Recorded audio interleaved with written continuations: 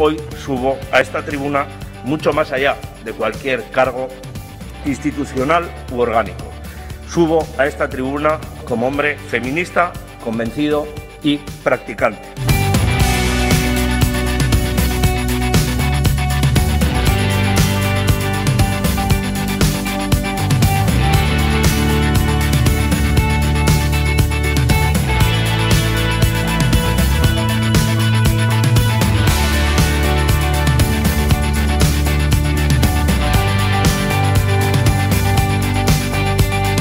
No todos gobernamos de la misma manera, porque algunos gobiernan en contra de las mujeres, y lo tenemos que decir, algunos gobiernan en contra de las mujeres, mientras otros lo hacemos siempre en clave de igualdad.